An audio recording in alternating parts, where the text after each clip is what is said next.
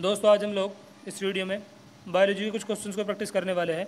जितने भी हम लोग इस वीडियो में क्वेश्चन करेंगे, सारे के सारे क्वेश्चन एन बेस्ड कराऊँगा मैं आप लोगों को। और साथ के साथ मैं आप लोगों को एन शो करता चलूँगा कि कौन सा क्वेश्चन एन के किस चैप्टर से और कहाँ से बनाया गया है। उस क्वेश्चन को वीडियो को स्टार्ट करते हैं। पहला क्वेश्चन अपना। पहला क्वेश्चन है chapter breathing and exchange of gases से। क्वेश्चन है a specialise centre present in the medullar region of the brain which is primary responsible for respiratory regulation is एक स्पेशलाइज सेंटर जो ब्रेन के medullary region में present है और जो responsible होता है रेस्पिरेटरी रेगुलेशन के लिए प्राइमरीली उसका नाम बताना है आरआरसी यानी रेस्पिरेटरी दम सेंटर होगा न्यूमोटॉक्सिक सेंटर एक्सपायरेटरी एरिया या फिर इंस्पायरेटरी एरिया तो एनसीईआरटी में साफ़ साफ़ लिखा है respiratory rhythm centre present in the medullar region of the brain which is primary responsible for respiratory regulation answer हो जाएगा इसमें respiratory rhythm centre RRC RRC मतलब रेस्पिरेटरी दम सेंटर अब एनसीईआरटी में लाइन कहाँ पर लिखी हुई है? जब हम लोग चैप्टर पढ़ेंगे breathing and exchange of gases तो वहाँ पे टॉपिक दे रखा है रेगुलेशन ऑफ़ रेस्पिरेशन का।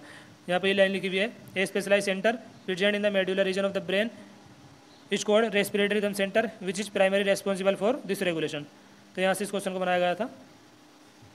नेक्स्ट क्वेश्चन देखते हैं अब।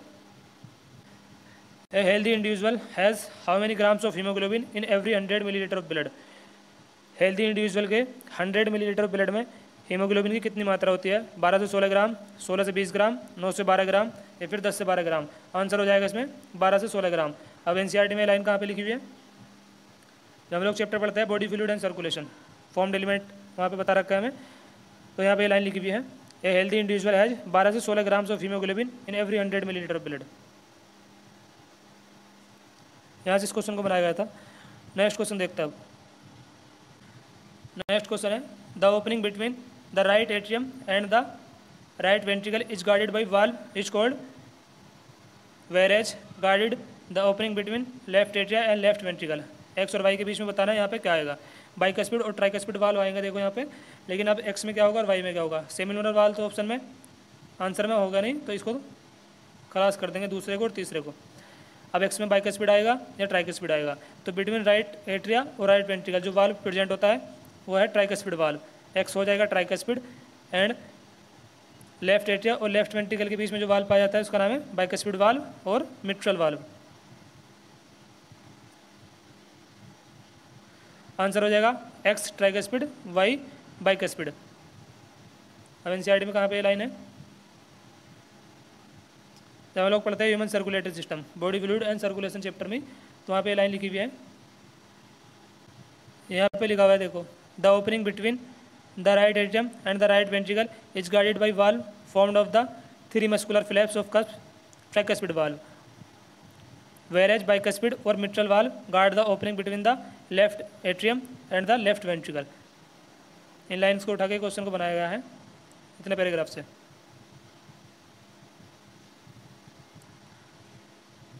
the opening between the right atrium and the right ventricle is guarded by valve called tricuspid whereas bicuspid और mitral valve guard the opening between the left atria and the left ventricle answer हो जाएगा इसमें अपना fourth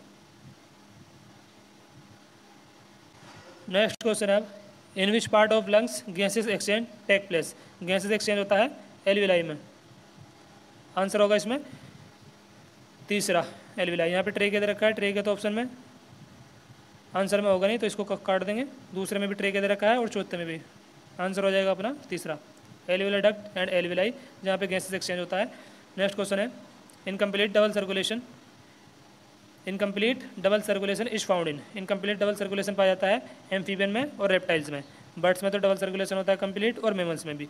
fishes में होता है single circulation तो option बचा सिर्फ़ अपना दूसरा। ये अपना आंसर हो जाएगा। एम्फीबियन एंड रेप्टाइल्स यहाँ पे पाया जाता है incomplete double circulation alveoli are the primary site of exchange of gases. And next question था अपना incomplete double circulation is found in answer अपना इसमें एम्फीबियन एंड रेप्टाइल्स ये लिखा हुआ देखो यहाँ पर फिशिस में पाया जाता है single circulation amphibian and reptiles इनमें पाया जाता है इनकम्प्लीट डबल सर्कुलेशन जबकि बर्ड्स में और मेमल्स में डबल सर्कुलेशन पाया जाता है। हमसे पूछा था कि एम्फीबियन रेप्टाइल्स में इनकम्प्लीट डबल सर्कुलेशन किसमें पाया जाएगा? तो एम्फीबियन एंड रेप्टाइल से आंसर हो जाएगा।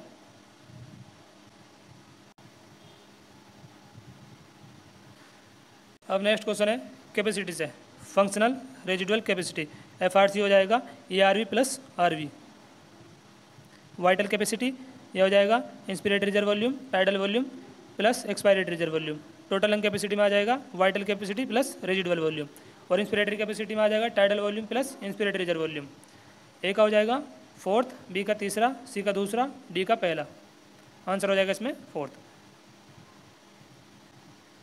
इंस्पिरेटरी कैपेसिटी में इंक्लूड होगा tidal volume plus inspiratory reserve volume expiratory capacity में हो जाएगा tidal volume plus expiratory reserve volume functional residual capacity इसमें इंक्लूड होगा E R V plus R V vital capacity include inspiratory reserve volume tidal volume और expiratory reserve volume जबकि total lung capacity में vital capacity plus residual volume, vital capacity मतलब inspiratory reserve volume tidal volume और expiratory reserve volume.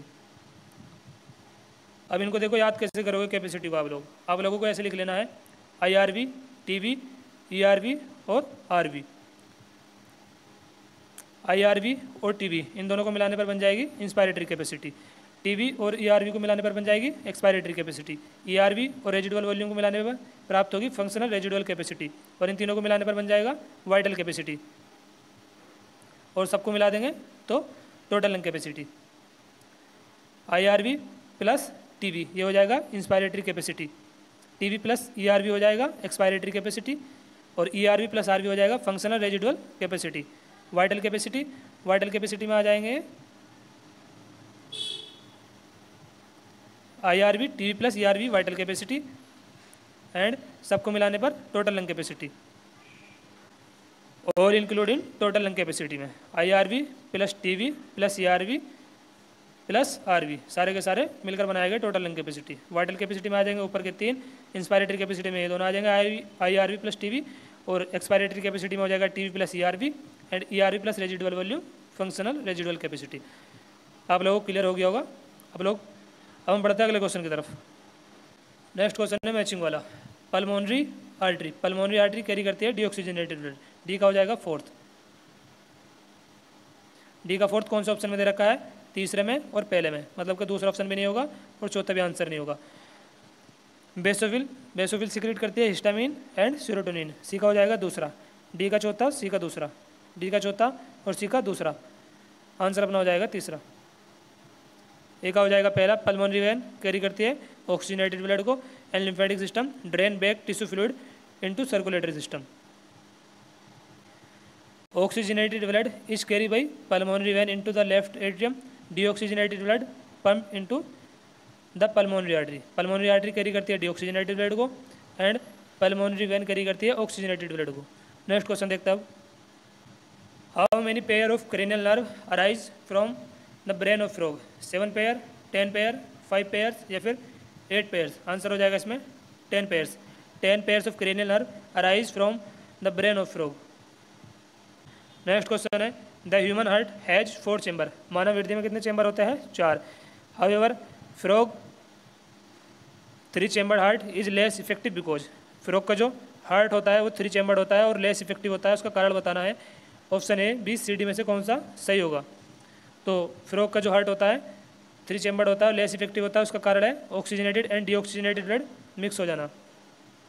Oxygenated and deoxygenated blood gets mix up answer इसमें हो जाएगा अपना fourth देखो फ्रॉक में जो सर्कुलेटरी सिस्टम होता है, वो होता है वेल डेवलप और हार्ट कितना होता है? थ्री चैम्बर्ड दो एट्रिया पाया जाता है और एक वेंट्रिकल एक वेंट्रिकल होने के कारण ऑक्सीजनेटेड और डीऑक्सीजनेटेड ब्लड मिक्स हो जाता है. इसलिए फ्रॉक का जो हार्ट है, वो लेस इफ़ेक्टिव है as compared to four chambered heart next question है what is the primary function of the spleen in a frog circulatory system filtration of blood transportation of oxygen nutrient absorption या फिर production of hormone इसमें हो जाएगा answer अपना filtration of blood next question अब match column one with column two and select the correct option for the code given below column one column two answer बताना है ABCD का। Matching वाला question है माइट्रोकॉन्ड्रिया एक double membrane bound ऑर्गनल है एक हो जाएगा तीसरा। Mitochondria double membrane bound organelle nucleus भी एक डबल मेम्ब्रेन बाउंड ऑर्गनल है। यानी कि इनमें दो मेम्ब्रेन पाई जाती है, आउटर और इनर। एक हो जाएगा तीसरा और डी का तीसरा। एक का तीसरा और डी का तीसरा। बाकी ऑप्शन में दे नहीं रखा। इसमें एक का पहला दे रखा, ये नहीं होगा। इसमें एक का तीसरा दे रखा है, लेकिन यहाँ पर डी का दूसरा दे रखा है। तो ये भी गलत हो जाएगा।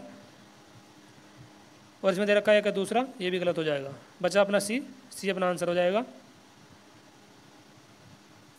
बी का हो जाएगा दूसरा। Lysosome single membrane bound organelle है जबकि ribosome without membrane mitochondria nucleus double membrane bound organelle next question देखते हैं male cockroach different from female cockroach in having antennae labrum maxilla या फिर एनल स्टाइल आंसर हो जाएगा इसमें एनल स्टाइल जो कि सिर्फ़ मेल कॉकरोच में देखने को मिलता है। फीमेल कॉकरोच में अपसेंट होता है anal style male cockroach bear a pair of short, thread-like anal style, which are not present in females. Anal style इसमें आंसर हो जाएगा। Radial vascular bundle correctly occur in radial vascular bundle पाया जाता है roots में। Stem answer नहीं होगा leaves भी नहीं होने का ऑल ऑफ़ दिस वैसे ही कट जाएगा। आंसर हो जाएगा इसमें monocot and dicot roots radial vascular bundle are found in roots well develop pith is found in well develop pith पाया जाता है monocot root plus dicot stem answer देख लो monocot root and dicot stem कौन सा option में दे रखा है? मोनोकोट रूट मोनोकोट स्टेम नहीं। मोनोकोट स्टेम नहीं। Monocot root and dicot stem answer हो जाएगा इसमें सी अब एनसीईआरटी में लिखा हुआ देखो यहाँ पर। Monocot root well develop pith present होता है मोनोकोट रूट में, और डाइकोट स्टेम में वेल डेवलप विथ प्रेजेंट होता है। Dicot stem monocot root answer हो जाएगा। Dicot stem monocot root hypodermis is in sunflower sunflower यानी कि डाइकोट डाइकोट में हाइपोडर्मिस कैसे होती है? कोलन काइमेटस जबकि मोनोकोट मेज मोनोकोट्स में होती है sclerenchymatous hypodermis is collenchymatous in dicots यानी कि sunflower stem and sclerenchymatous in maize stem in sunflower hypodermis is made of collenchyma which may be green in maize monocots hypodermis is formed of non green sclerenchyma tissue hypodermic dicot में कैसी होगी collenchymatous जबकि monocot में sclerenchymatous move on the next question study the given figure and identify the kind of phyllotaxy one two and three इनको पहचानना है इधर रखा है हमें अल्टरनेट अल्टरनेट में सिंगल नोट से एक सिंगल लीफ अराइज होती है जिसे हमें दिखा भी रखा है अल्टरनेट एंड इधर रखा है अपोजिट एंड ये होल्ड अपोजिट में एक नोट से अपोजिट लीफ दो लीफ अराइज हो जाती है जबकि इसमें एक नोट से कई सारी लीफ अराइज होती है होल्ड में अल्टरनेट में सिंगल नोट से सिंगल लीफ अराइज होती है alternate opposite and whorled NCERT में साफ़ साफ़ दिखा रखा है मॉर्फोलॉजी चैप्टर में आप लोग वहाँ जाकर डायग्राम्स को देख सकते हो आंसर इसमें हो जाएगा अपना बी नेक्स्ट क्वेश्चन है if the diploid number of flowering plant is छत्तीस. फ्लोरिंग प्लांट यानी कि एंजियोस्पर्म की बात हो रही है टू एन बराबर हमें दे रखा है thirty six what would be the chromosome number in its endosperm endosperm की प्लोइडी क्या होती है? एंजियोस्पर्म में थ्री एन तो टू एन बराबर हमें दे रखा है छत्तीस तो एन बराबर कितना हो जाएगा? अट्ठारह. और एंडोस्पर्म की प्लोइडी कितनी होती है? थ्री एन एन बराबर कितना आ गया? अट्ठारह. अट्ठारह थी चौवन. एंजियोस्पर्मिक एंडोस्पर्म की पिलोडी होती है थ्री एन एन कितना है? अट्ठारह. तो अट्ठारह थी, हो जाएगा अपना चौवन. चौवन दे रखा है हमें सी ऑप्शन में. आंसर हो जाएगा इसमें अपना चौवन। तो इस वीडियो में हमने कुछ क्वेश्चन करा N C R T based. मिलता अगली वीडियो में। धन्यवाद दोस्तों।